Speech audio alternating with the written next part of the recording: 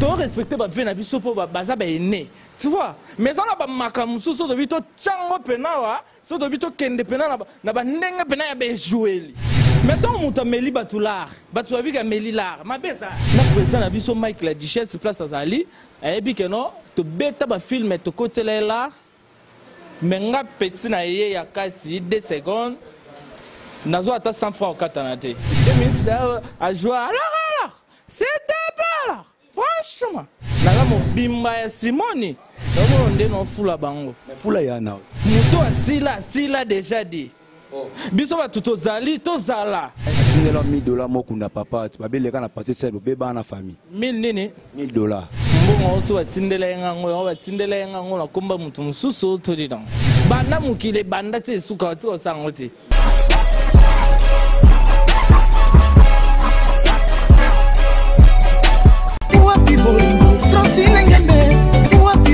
www Congo Masolo avec Congo Dialogue Congo Kosolola Makam Makam Makambwa Danger di Kitoko Congo Dialogue.com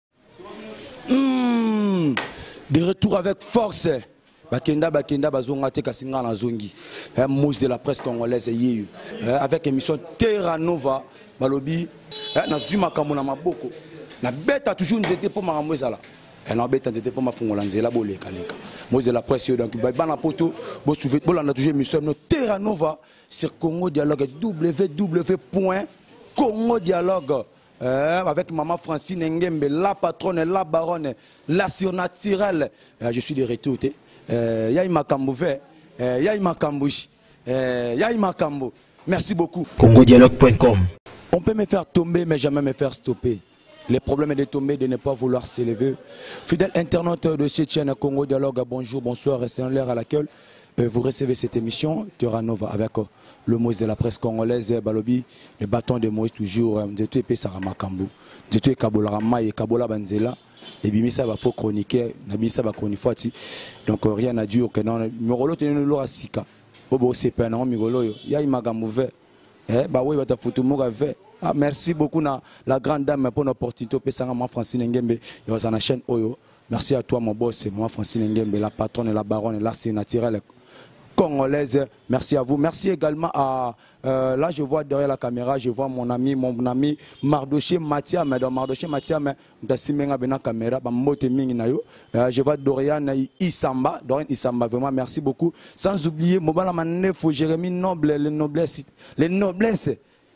Eh, Mira Kinzi, le miracle de la presse, merci beaucoup. Merci beaucoup na montage ingénieur Fils Nzabi. Oh, là, je vois tout le monde, je vois mon cordon, euh, Kagraf Songanzi, la Laksa Bananzela. Euh, je vois Papa Ricky, la superviseur de cette chaîne. Merci beaucoup. Fidèle internaute, le loyo, moi de la presse, bon, on a bino moko. Dans la carte salon, hôpital de beauté Litaka, na Matetewana. Sona ya sena na solana, artiste moko. oyo alingi alobela makambo na ye oyo alingi apesela bamakambo na ye ye elobela lobela congodialogue.com bonjour mon frère ouais bonjour moïse de la presse congoliano oyo ngai na obengo mikolo oyo donc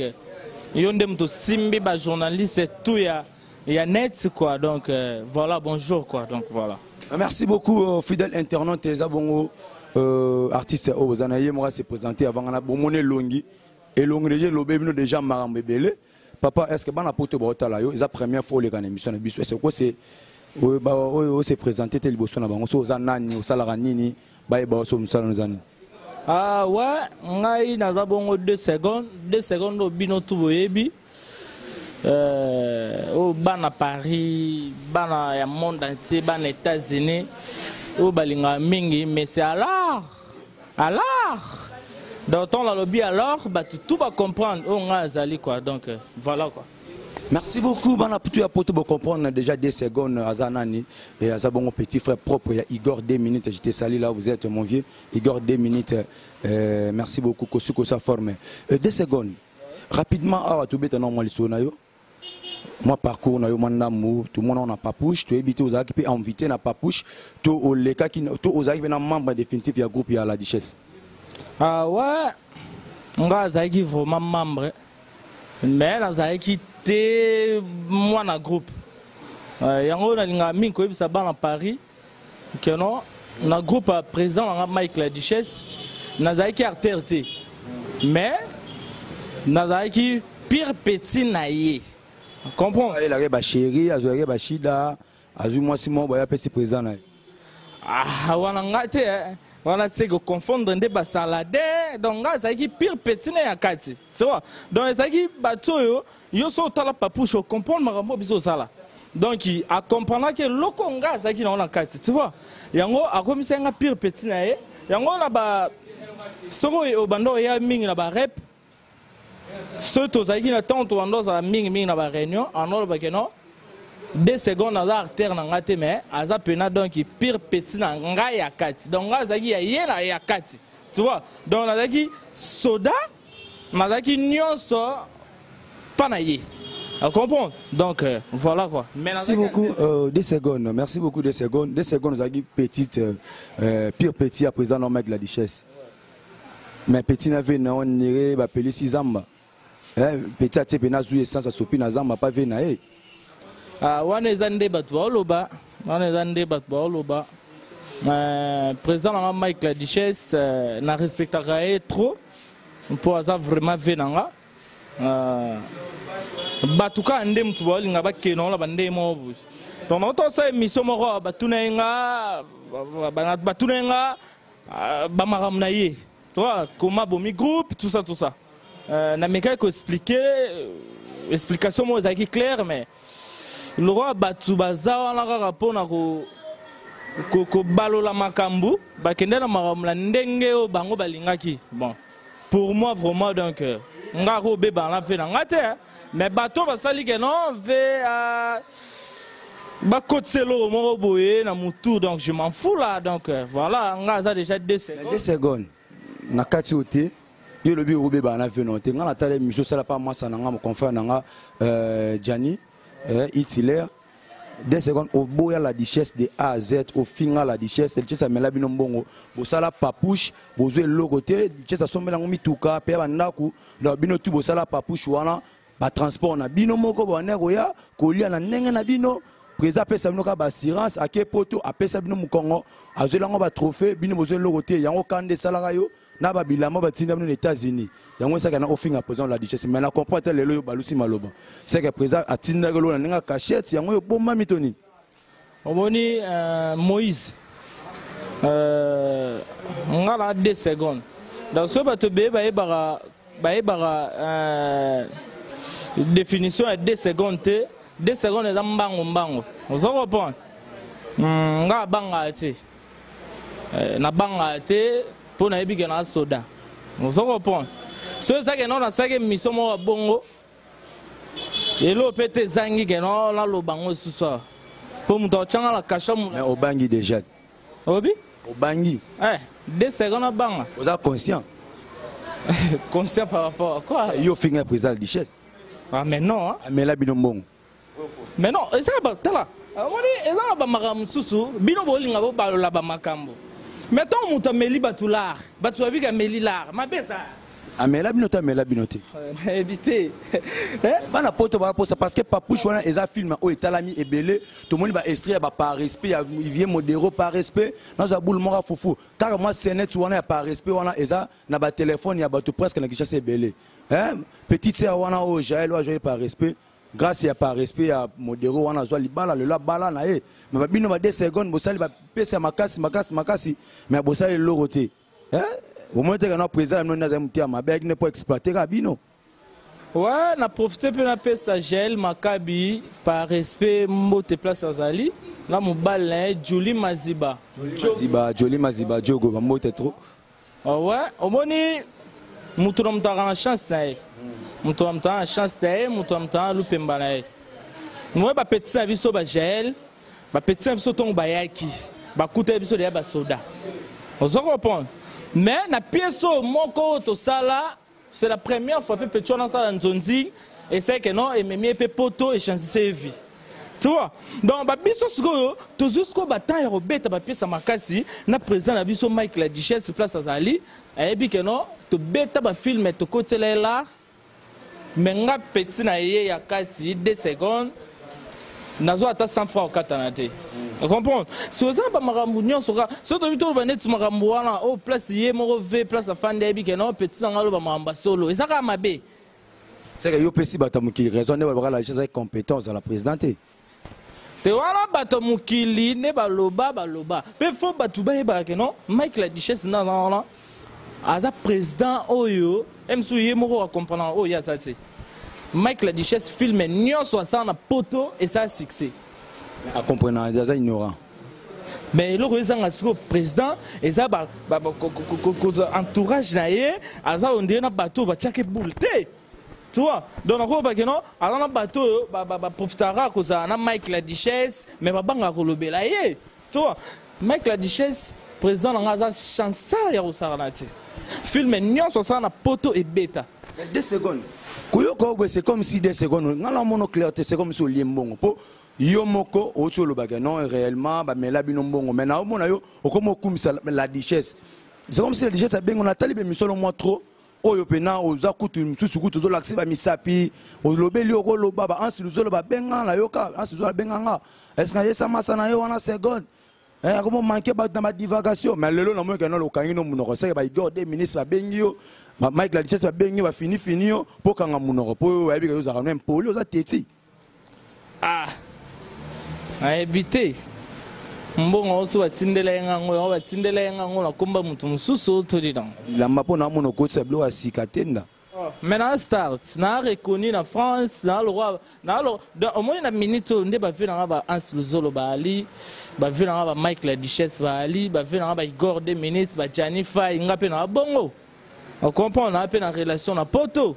oyo bango banda ozwa ba 10 kilo nga mpe nakoma ozwa yango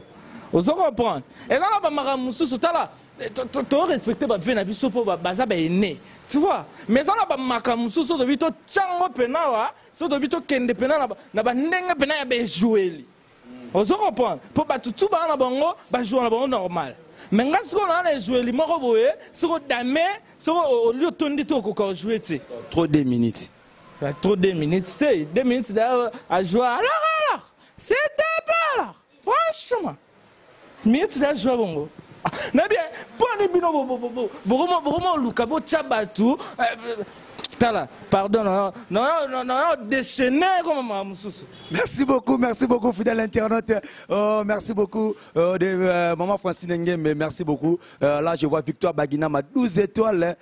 salon facebook na chateau rouge wana do bambote na yo baye mama asalaka nga babien mwa mwasi asola bie mwasi ya pembe eh, seconde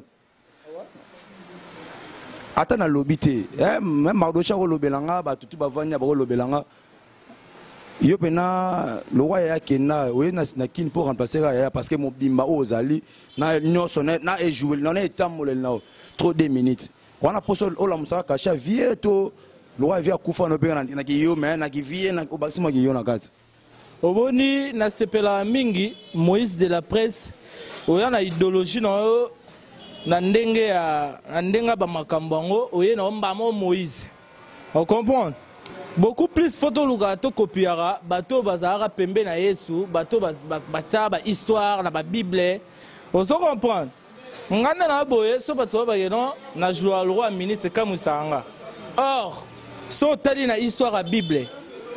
nde nzambe akoma bible na ye nde nzambe asalela bamakambo na ye nga amonaka nazalaka mobimba ya, ya, ya, ya simoni naza mobimba ya simoni mais comment bato bayebisanga kaka no simoni oyo wapi simoni ya bible oyo simoni na bible oyo apôtre yesu mais ye wana beaucoup plus mpo tolukaka tozwaka bango pourquoi ozolinga omaske bato boye ezomonaka na yo 2 minutes olinga omaske bato so moto aya te awa moto ayebi 2 minutes oyo amona 2 minutes kala ntango amona o bango totalement 2 minutes soki olinga oboya 2 minutes mabe na bino baartiste boye lelo lelo oyo bomoluka boboya bavie na bino basala baepoque na grand frère na yo propre komoluka oboya lisusu na miso ya bato omoni eza likambo oboya te eza kaka nde eloko ngai alingaka te bato baloba ozo comprendre mpo ngai moko nde na boye nayebi ke conscience na nga nazwa na nga motu te ngai aza motu te na bebudeli na yo mpena na evandeli na yo eh, bana poto eh mardoche ozomona te bino mopena 2 minutes na evande na ye mbaka mokozo vana ve igor na bandal ayebisa nga ah, moise de la presse eh, ceque babiloko wana omona yango sho na basimeli mandefu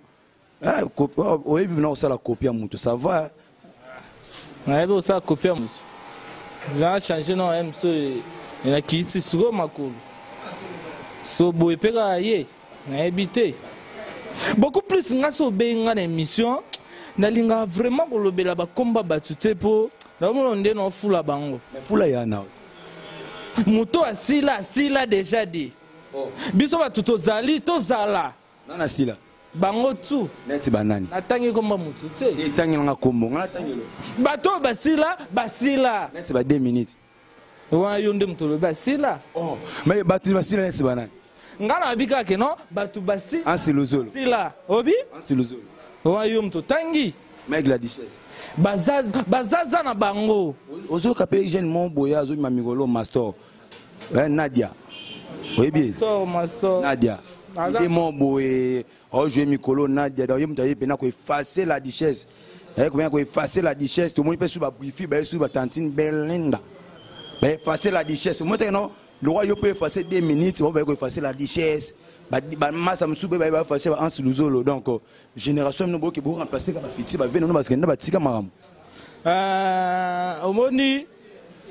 bato oyo sikoyo faki olobela baoyo baza bakopi ya bato wana eza bango nonnnn ngai nayebaka ke nona na ngai kopi ya motu te ngai nayeba teatre na efort ya motu te nayeba teatre mpo nga moko nalinga nayeba théâtre mpe eza na eloko moko le grand journaliste so oyambi bacomédien fo koyebisa bacomédien batika ntimambi ozo comprendre so otali biso tout o oh, artiste musicien o oh, artiste comédien so otali biso baoyo bato toya kosala théâtre eza kaka keno likemba nde ya bapale moto esalisa biso théâtre yo mpe nde osala théâtre likemba pale motu tout sauf motu te donc vie pa bwakela ngo ata babiloko te tala nayebi ye te vi abwaka biloko te nga na star ovi azobwaka babilo bato mosusu ye babwakelaka yo te nga na star va ata bwaki te amona da petit ne danger atindela 1000 dollars mokunda papa babeleka na passé sel bobebaa na famille 1000 nini 1000 dollars ba 110 ba 50 20 wana atindwa mpa na nga atinda maboko na yo bokunda pere yo pena olekisa wana passe simple makambo wana bozwa yango wapi ah, papa yo unanga po tuna bongo ngai nayebi te fidèle internaute atuna mambo nazala wapi tandis que eh, makambo wana nazalaka na yo na palais toyebi toyebani papa mileya ba 100 110 valbe ngabi te bopesa petit wana 2 secondes agere makambo mpo bakunda père bien parce que etalaka ye après ngai na nsima eza ye 2 secondes azwa laro wana abimisa 200 wisa kenda na passé simple na matanga ka bobimisa ve mabe omoni moïse eza bamaka mosusu toloba yango te mbila ebele eh. mbila ya blaki te eh. donc ti nde tofandi boye ve mpe natinda mpe na mille na western na nkombo na ngai no kezwa mille ah place oyo ye moko aza nayebi ke no ye moko mpena place aza mpo nayebi ke aotala emission oyo place ve aza ayebi ke no nakosala yango te banda mokili banda mokili ebanda te esuka tika kosala yango te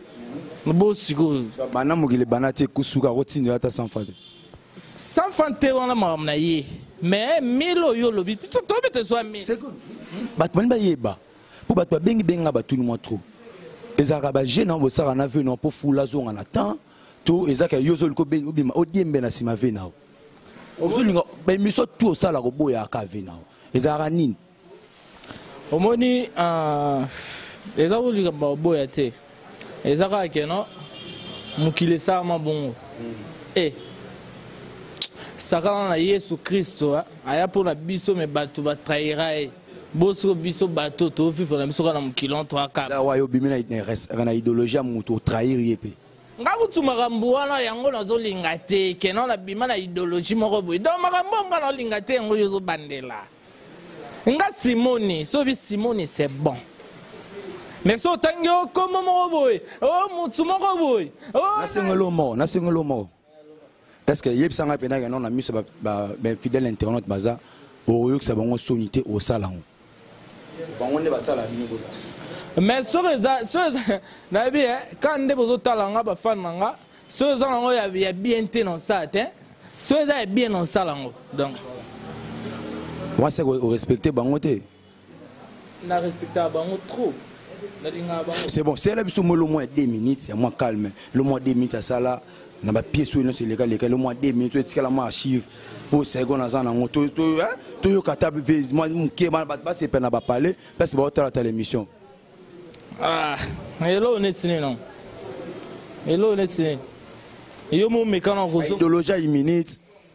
kende ba techno malewa oyeba nzonzinga eza ebele luka elo moins minute sala yango mpo basepesa bato bana pale soki nakosepelisa bango eh, nasepelaka na eloko moko abeta na nzembo ya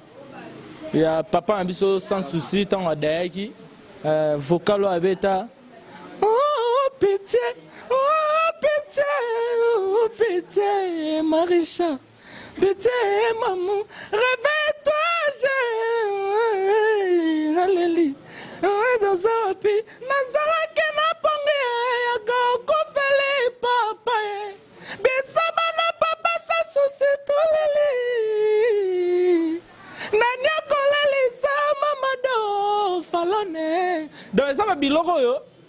nalaka so nafandi na oyoka merci beaucoup bato babeti maboko na palais ebele ebele bato ena babetisa bango basanti mpenaka no 2 minutes akufa te 2 minutes aleki mpe azali malgré azokima na yaya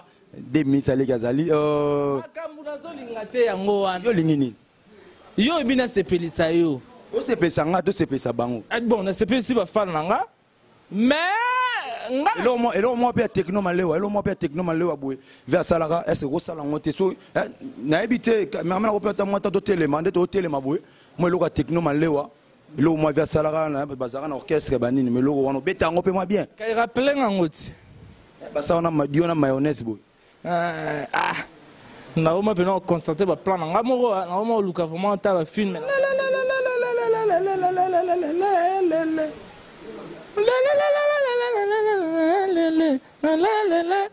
ezoki ezokima naoma constate mingi baplan na ngai Merci beaucoup, fidèle internaute. Merci beaucoup. Euh, là, c'était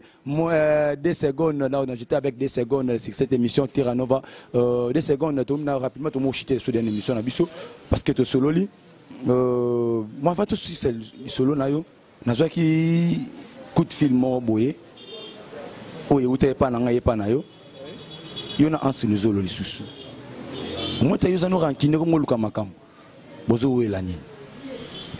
owe ah wana mpe na nga ansuluzolo wana yaya nabengaki mpe na yaya euh, omoni bave na biso okoa ba ansiluzolo baza bave oyo toko manke te ozo comprendre donc so eza ke no bato moko baolinga bakotisa biso na rankine moko na ve na nga batikala vraiment kozwa yango te mpo ve na nga na tournage ya papouche ve wana totourna ne tableau moko tojoua bamusicien eza na bilamba moko ajoua na tableau moko boye ntongo mpena batie coupe va longola mpena ketch apie nga alongoli pantalon apie nga bodi aza ve oyo nakobosana ye te ebela bave na biso mosusu bazalaka bautaka bamikili so baye ata ye mosusu sengle eh, batikaka te eh. mais ve wana aza na motema kosalisa tu vois va motema kosalisa donc euh, nakoki nanga kolobela motu tu mais sauf ra ve oza comprendre nakoki kolobela motu tu mais ve abengaki nga alobi na nga euh, moses de la presse eyebika na motu na yo akomomanke bato en désordre akoti na biso to asangisi biso tuna atie biso liboke moko ya mbika ngai nabaki ah c'est bon toyamba ye moko yoka ye ye moko aloba yango Euh, rapidement mpe kwa lobi na okeve asala eloko te programme eza nini ozaka na kati ya couple la duchesse to ozwi évolue ndenge nini opesaka mpena programme na yo bafilme nini ozolingi osala liboso oyo bato bana mposa bazela bango na su 2 seconde sur scène ah ouais ouais non na minute oyo programme eza kaka moko euh, programme eza moko tozokala trop te tozobanda batournage awa ba tournage ya ba film eh. po to comprendre que non totikeli bato mwa temps trop ozo comprendre eza na bamasta mosusu to bapetit mosusu bake mpe bamikili eh. ozo comprendre bake mpe bamikili bango mpe so bayambi bango na émission neti kaka baboya 2 secondes me ngai nazalaka neti banani susu nakotanga kombo ne te ye moko ayebi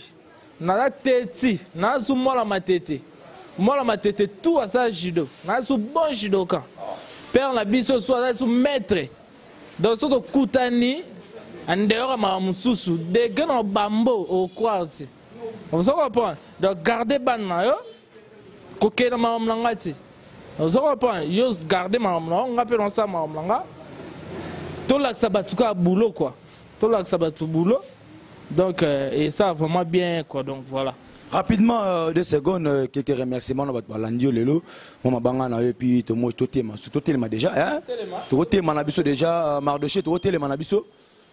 tema na biso donc euh, mabanga na yo epuis rapidement mpo tomoki nyonso nsuka émission mama remercie bato balandi yo mpe émission eyambi yo terra nova avec le mos de la presse na chaîne oyo epesi opportunité toyamba yo congo dialogue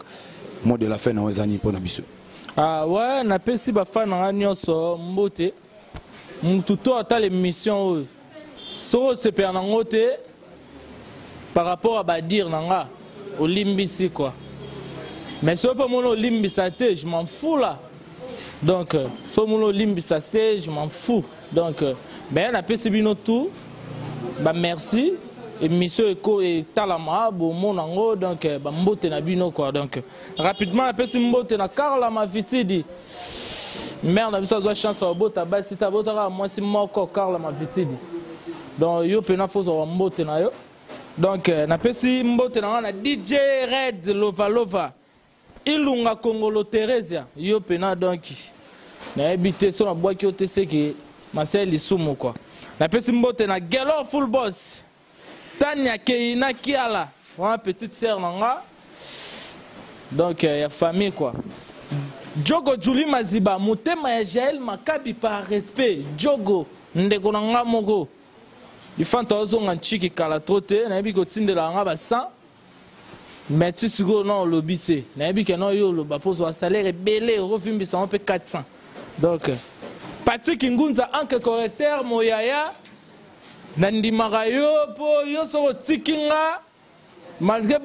bafan na nga paris bafan na nga états-unis bazwa na bango nga mais oyeda nga mpe na makambo ebele neti lice oyo yaya moto atikela ye nga yango bapantalo oyo ntango ayaki de père oyibaki ye mpe montre euh, naye montre wapi olati na loboko ah montre eza 1200 euro ah. kasi oyibaki ti 1200 eh, euro ah. Ah, fo tozala clair oyibaki yo na patiki ngunza pena ve bo coaching asusi te mpo oyibaki ye montre 1200 1200 euros ah ouais donc euh, nazo vivre nanga na kin mais euh, nde bato banga na mikili mpo nanga mpe na bafane na nga donc euh, napesapesa bambote ti mpo oya fanda bo natindelaki ye kutu montre abwaki nga te mbama okayi nga oyo ingra ozo comprendre lina matondo mare aleki propre mwalime Kamalondo, Mwalim Kamalondo, na minute oyo totikaki tikaki bango mais kala trop te bocomprendre bosentir bocomprendre libanga na ngai eza pape mbo pape mbo na salon na biso juste na matete pape mbo akanga mpe matete donc euh, o narcisse le grand mecano abongisaka bakara minene nini so nabwaki ye te apesa nga mpe c'est quoi rapidement rapidement toomokende déjà na suka eh, rapidement rapidement rapidement tokende na salanga na lomo belo mwa suka to ngokende na sota na yebi mpe comédien parce que malgré mabanga déjà esili avant nakabwana yo eh, olibere plateau na ngai ma eloko moko bosepesa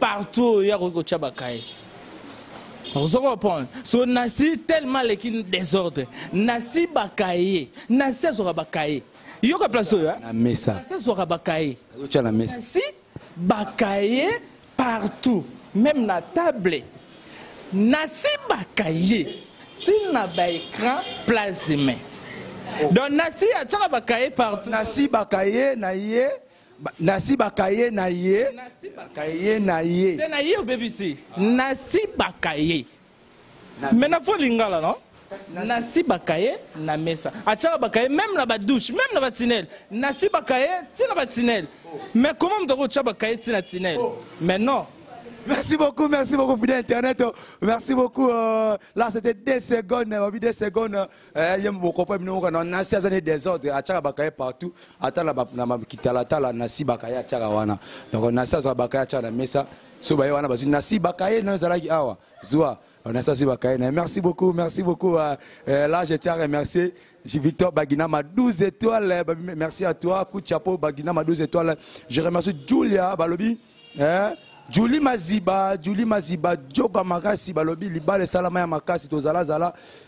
yo solaka na yo western esolaka na yo moses de la presse ye yo libanga yango wana esola merci beaucoup na bato tu balandaki opportunité ogel makabi par respect euh, nabosani yo te euh, derrière la caméra mardoche mardoche matiama donc sans oublier dorian isamba isamba donc euh, ingénieur fils nzabi la grande dame la patronne la baronne sénatirelle congolaise ma francine ngembe euh, kani na sabine lokoyo on peut me faire tomber mais jamais me faire stopper Le problème est de tomber, de ne pas vouloir s'élever. Je suis le monstre de la presse congolienne. Appelez-moi Gucci Mabaya. Quant à moi, je vous dis déjà, ciao, lao.